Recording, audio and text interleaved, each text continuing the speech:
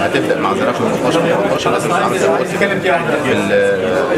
بما يتناسب ونبص لنفسنا بس يعني بعد كده لكل لكل مرحله كلام يعني بما يتناسب بقى استعداداتنا إحنا عندنا مباريات محليه تركيز الأول عليها في الفترة اللي جاية عندنا يوم 12 و 14 خمسه اول مباراه مع زناكو أكيد بنستعد لها وهنحاول نجيب آه، مجموعه من المباريات ليها أو مجموعه من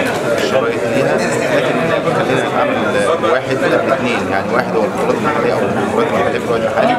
وبعدين إن شاء الله ربنا نستعد لها بشكل شكرا كابتن على حساب زيسكو اللي هو كان السنة اللي فاتت كان في semi final البطولة الأفريقية. فخلينا نشوف المستويات وبعدين نقول اصعب يعني الأهلي قادر على الأهلي بيخش اي منافسه وبيبقى آه، أو أي بطولة بيبقى بينافس عليها بما يملك من تاريخه وقدراته وشخصية لعيبة. المستوى مستوى الفرق كلها. أنا ما شفتش مستوى الفرق. يعني ما- شفتش مستوى الفرق كلها عشان ما اظلمش أو ما اقولش كلام ما يبقاش موضوعي أو أو حقيقي.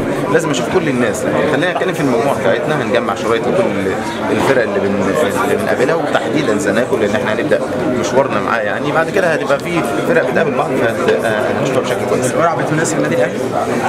ايا كان القرعة هي أنت بتتكلم على 16 فرقة اللي وصلوا كلهم أصحاب قدرات وكلهم عندهم شخصية البطل بدليل انهم أبطال عندهم يعني. لكن إحنا بخبراتنا وطريقة تعامل اللعيبة مع المباريات الأفريقية وخصوصا البطولات الأفريقية وطريقة تعامل اللعيبة معاها إن شاء الله الرحمن بإذن الله بإذن الله تعالى يبقى لنا الاولويه كابتن سيد شايف نظام- إن الأهلي النظام واقف الجديد. الأخيرة من البطولة ويقدر هو المفروض يعالجها البطولة دي. ازيك يا كابتن عميد.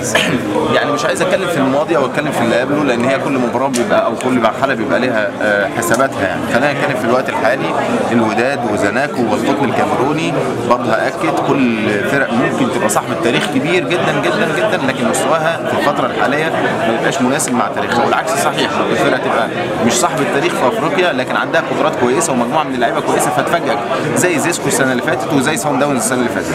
فخلينا نتعامل مع الحدث بأهميته. أهميته بتقول إن أنت لازم تشتغل كويس جدا لازم تعمل حساب لكل الفرق عشان تقدر تواصل أو تقدر تكمل. يعني